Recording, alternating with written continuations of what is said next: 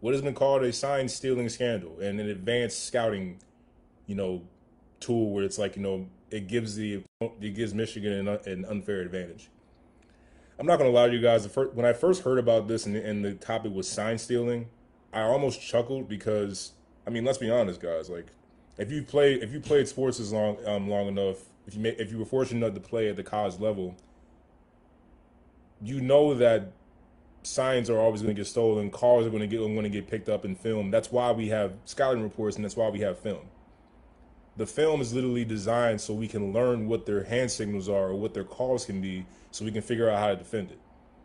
And plenty of teams across all of college sports do this because they want they have to prepare in order to you know know what kind of defense to to do to counteract their offense. Same thing with the offense. The offense has to know what what the defensive calls are so they can run the right plays in order to counteract that. But and I didn't I didn't think that Harb I didn't think anything would come of this to be honest. I thought it was just a load of garbage and an investigation that would continue on throughout the entire season until the college football season was over.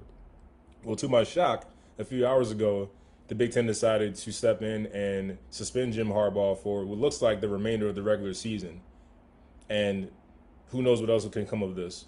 There's been a lot of talk about this guy, Connor Stalions, who allegedly looks like he went to a Central Michigan game, uh, posed as a member of the staff, and was able to get on the sideline. And I'm like, how the hell does this guy manage to sneak onto a campus, into another locker room, and on the field with another team?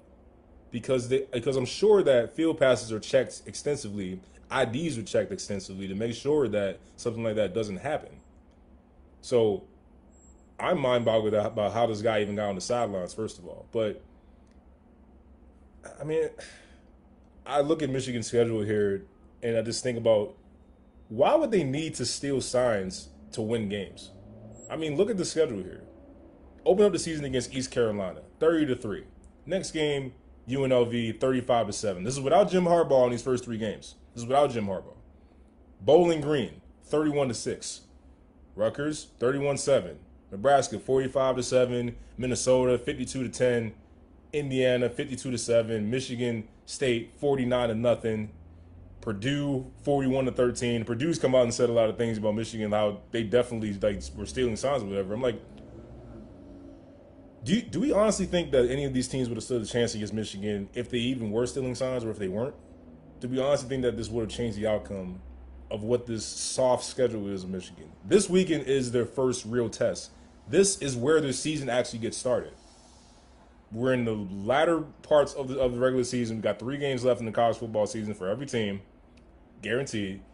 And this is when Michigan's season actually gets started. They they're on the road at Penn State, who is has has a, has still has a shot to get into that college football playoff. So they have a lot to play for. Um, their season, I know they I know they blew a tough road game against Ohio State, but now you got Michigan, who's in that top four. Penn State could very much catapult themselves to have a much better chance of getting into that playoff if they pull out a win versus Michigan. And they're going in there without Jim Harbaugh. Now, I'm not sure what kind of an impact that really has on, on, on a team because I've never experienced that in, in, in my collegiate days. But it's more about you know for for me, it was like, well, we, if we're missing our best play, our best players, or whatever the case may be, that's a different story. Now the game plan changes, and other guys have to really step up. I'm not sure how that feels to not have your coach out there from start to finish. I've experienced I've experienced times where like you know my coach got thrown out due to, due to technical fouls and the assistant had to step in. I've experienced that, but to go into a game not having your head coach, I mean, I'm sure it has an impact on just as far as routine and like what you're used to, we were used to seeing. When a when a play breaks down or when you know, the offense goes down, he has a three and out or has to punt the ball, you know, you're looking at the sideline, you're expecting to see your head coach there.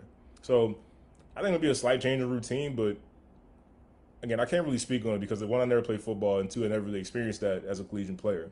But I'm sure it has some kind of impact in, in terms of routine. But as far as the game, as far as the talent that's on this team, the assistants should be prepared to coach this team because they, they're around the guys every single day. They're around Jim Harbaugh every day. They know they know the same offensive calls. They know what Jim Harbaugh would expect of them, and you know, assistant coaches, you know, they're trying to be head coaches. So I'm thinking like they're prepared for this, if anything. So I don't know what kind of impact it's really going to really going to have. I guess we'll see like on Saturday just how it's going to look because apparently Jim Harbaugh is allowed to coach during the week, but he's not allowed to coach in the games. Now that doesn't make a whole lot of sense to me, to be honest with you. If you're going to suspend the guy, then suspend the guy from the program. Then he should he shouldn't be around the team, because why would you have a, the coach around to coach practice, but then he can't coach the games? But that's the NCAA. We know that they're backwards, and we know that they like to do things, at, at, you know, whatever they want to do, because they like making up rules. I never imagined Michigan not being allowed to play in the college football playoff. I heard I heard the great Stephen A. Smith talk about this. He thought that until Michigan is proven that nothing happened, they shouldn't be allowed to play in the college football playoff. I disagree with that wholeheartedly because we're punishing the players at this point, and I've always been against punishing the players for things that they had no knowledge of and for things that they didn't do. We go back to 10 years ago, Penn State. We know about that situation with Jerry Sandusky that in, in the fall of Joe Paterno and just everything that we knew Penn State football to be for so long the bowl they, they issued they issued a bowl ban uh, on, on, the team. I'll never forget it because I was there. You know, bowl ban comes down on ESPN. Everyone's watching on campus. You know, people people are in tears. People are like just absolutely in distraught. I see like a bunch of players that I've gotten to know just saying, just dapping me up, saying, "Hey, it was it was good knowing you. I'm about to get up out of here, about to transfer." Like this is literally right after the bowl ban, so it's like it's just an immediate like waterfall effect going, going through the entire school. And I just thought it was just so like it was just so uncalled for and so unfair to punish the current players for something while extremely egregious. Jerry Sandusky belongs in jail where he is right now. It's egregious what happened um, that, that during those times, but to suspend the current players and to keep them from playing in bowl games, I thought was just ridiculous. I thought it was I thought it wasn't right. I thought the NCAA dropped the ball on this. I thought the board of board of trustees, whatever Penn State, dropped the ball on this you punish the people that are responsible. Don't punish the players who had nothing to do with this or had no knowledge of it. So this is so this it brings you back to that because we see what's going on with Michigan right now. We don't need to punish them for what Coach Harbaugh um, did or did. Did he know or did he not know? Who knows? But we can't punish the players for that, and we also can't, you know, just eliminate the, the season with the body of body of work that they put together for, to put themselves in position for a college football playoff because of the actions of one Coach Harbaugh. I just don't. I just wholeheartedly disagree with that. Are we seeing the end of Jim Harbaugh in college football altogether? Is this like going to be you know the last the last hurrah for him? There's been rumors that Jim Harbaugh wanted to leave last year. You know, I'm, I'm coaching at Michigan after that debacle they faced when they lost to TCU in the, in the playoff. That's neither here nor there. You know, looking back on it, but now it's resurfaced again with this scandal. I'd be shocked. To be honest with you, it wouldn't surprise me if Jim Harbaugh, you know, decided to take an NFL job. There's a couple. There's a couple franchises that are in need of a big name, so to speak. But you you also sit back and wonder, like, how much is Jim Harbaugh's name going to be scarred from this from this scandal? Now, because now you got two investigations going on with you in the same season. Now, Coach can bolt he's proven that he can win. I mean, he's, he's, he's knocked off Ohio State, which is the number one thing that a coach is supposed to do at Michigan is to beat Ohio State. You've done that twice now by a very substantial margin, and, you, and you've gotten Michigan in position to win a national championship. You didn't you didn't get the job done all the way, but you managed to get them within striking distance twice now, and they have a good chance of doing it again this year for the third straight year.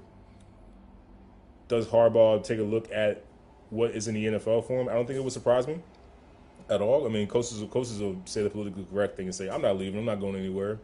But we all know money talks and situations change at the blink of an eye, like like like night and day. My my gut re, my gut reaction is I think he'll entertain it, but he'll ultimately end up going back to Michigan. But same time, I'm thinking like, why would you want to go back to a potential landmine if you have you have if you stay in Ann Arbor? If you go to the NFL, you essentially won't have to deal with all the all the investigations and what we what you've been found, quite frankly, been found guilty of. But again, if this is specifically just about sign stealing, I don't know all the details of everything that happened. I got to read the report a little bit more. But if this is specifically about sign stealing,